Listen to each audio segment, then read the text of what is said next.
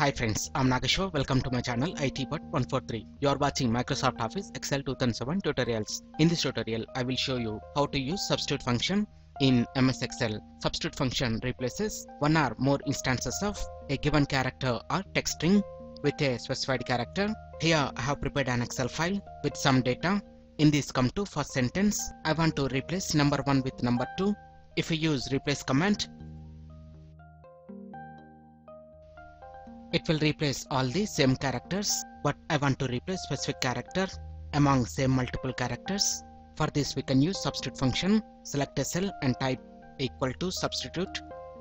In this we will get 4 arguments. Out of them 3 arguments are must entered. For text argument select the text in which we want to substitute characters. Add comma for old text enter the characters we want to replace but within the double quotation add comma enter the new character or characters to replace old text with within the double quotation please type 2 and enter instance number. That is the occurrence of old text. You want to replace here I want to replace first occurrence. Close the bracket and press enter.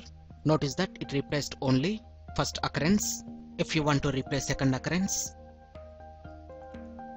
select text add comma within the double inverted commas please type 1 add comma 2 now I want to enter instance 2 close the bracket and press enter.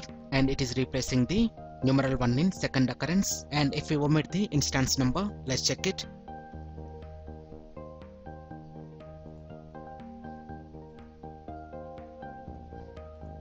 Close the bracket and press enter.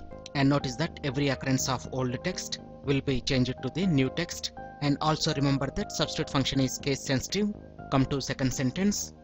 Type substitute. Select the text. Add comma for old text. I'm entering small t. I want to replace this with 0 and enter instance number.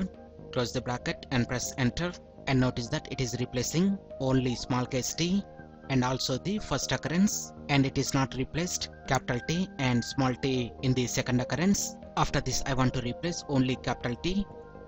Type substitute select a text add comma within the double quotation please type capital T and I want to replace this with 0 close the bracket and press enter and now it is replaced only the capital T and we can also apply substitute for multiple replacement at once in the third sentence I want to replace PHSC and WO with phrase, sentence and word. For that select a cell type equal to substitute. Again we need to add two more substitutes. Now select the text, add comma, first I want to replace PH with phrase. Close the bracket, add comma, after that SC with sentence. Close the bracket and finally replace WO with word. And close the bracket and press enter. And notice that we have replaced all the text at once and substitute function is more effective when compared with replace command.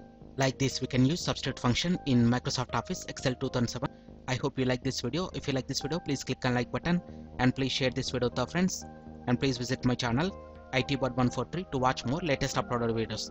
And don't forget to subscribe my channel. Thank you friends. Have a nice day